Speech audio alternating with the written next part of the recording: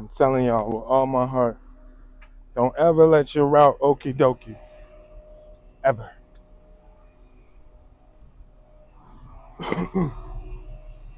Excuse me.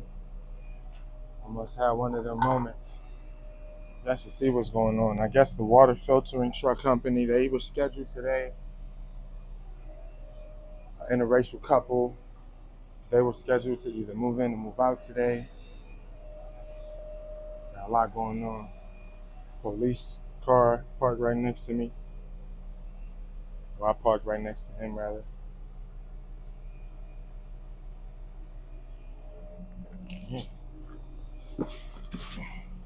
And the route was about to send me somewhere else. I had made a stop across this little pathway.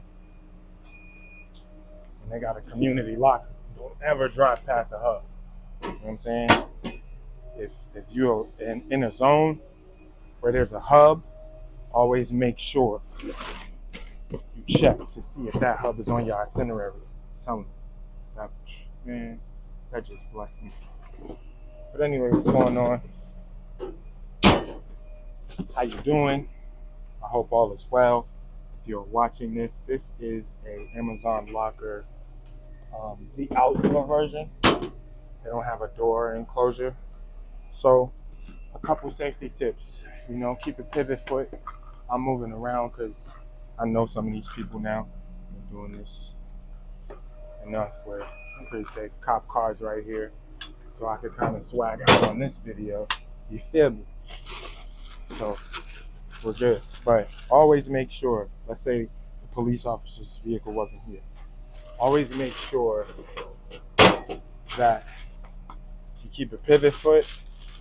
I would say keep a pivot foot, keep your back to the nearest corner. So the corner, this is the Amazon locker. There's a fitness center for this particular situation. There's a pool right here. You know? So, you know, certain areas gonna be locked off. In today's time, most of these you know communities are, that are gated and stuff like that. They have different parameters already set in, like ID cards and bump cards, where you can just uh, go right into these places. If you're not a resident, you need to be escorted, stuff like that. Um, so always make sure you know your back is to the safest vertex, you know, wall to wall corner. So you protect yourself and you can always see your vehicle at all times, especially depending on what time you actually hit that hub location. You dig? But again, I'm doing a lot of spinning and all of that because um, I'm familiar with this area and the demographic of individuals. All right, 906.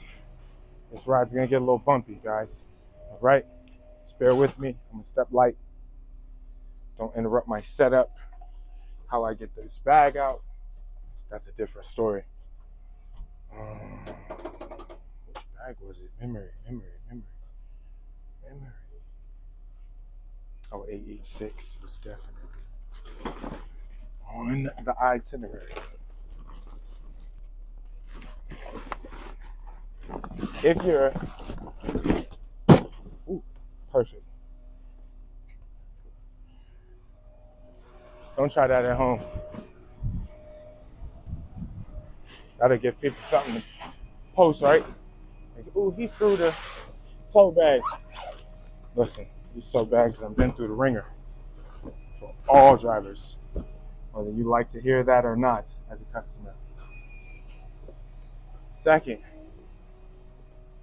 as I just did, man, you do what you got to do to get these customers and clientele their belongings. This shit belongs to them. Yes, you know, try your best to keep it as safe as possible and all that good stuff. But listen, get it how you live. Check your tote bags before, kind of know what's the dynamic in locker situations. None of the bag, none of the bags or um, none of the bags or boxes weigh over 30 pounds. So you should be safe. Is it morning? Good afternoon. She got her headphones on. How you doing?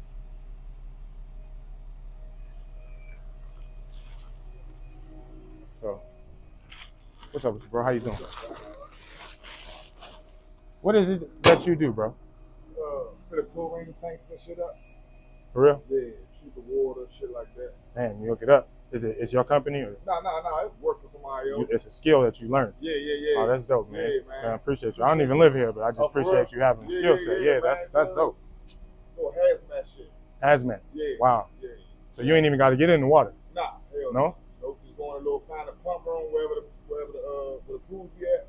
Find a pump room wherever it's at. Break it down like a shotgun. Get the fuck up out of Yeah. here. Appreciate you, brother. You know it, bro. All right.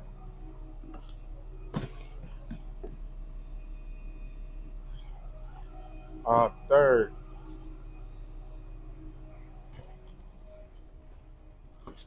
Always close the locker as softly and as firmly as possible. Oh, on this wire. Fourth, respect all of the people that are around you. I think that's in any arena. He's doing a job just like me. Respect.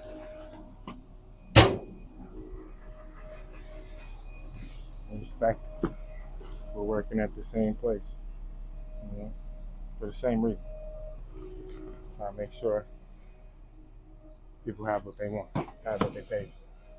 Wow, bars. Bars. Um, I know I've been scanning kind of smoothly and easily. Okay, there's a label, right? And then those QR codes, I always try to line the QR code um, right side up every time. Make the perfect line and the scanner. Oh, it's the satellite. Yeah, always do it right side up. It's a little quicker. It takes off 0.4 seconds worth of time. You? Read the screen. Step five. This is all extemporaneous, so I'm not gonna put it up um, like I may usually do when I'm giving out step information. Read the screen. The screen will tell you, you know, most likely which side of the Amazon locker the package um, locker is going to be. See, so I gotta take a walk based on what the screen says, not the sound. I have headphone plugs on. See?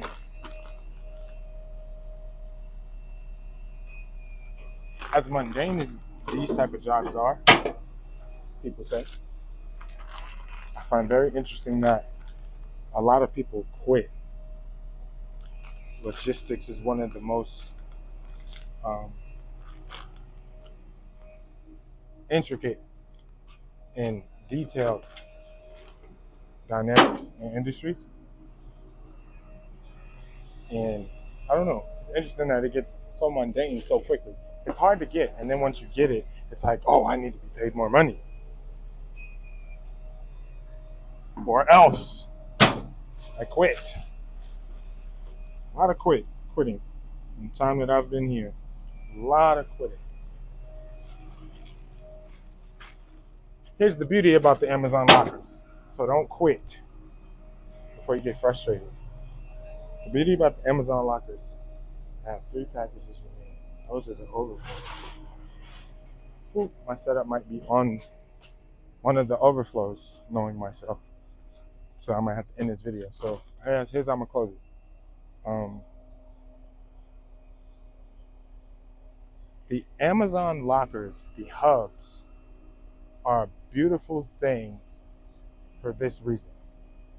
It's one stop, multiple locations, extra hella packages. Okay? So I learned, because I was stubborn at times, not to do the hubs last. Do them soon as they come up or do them first.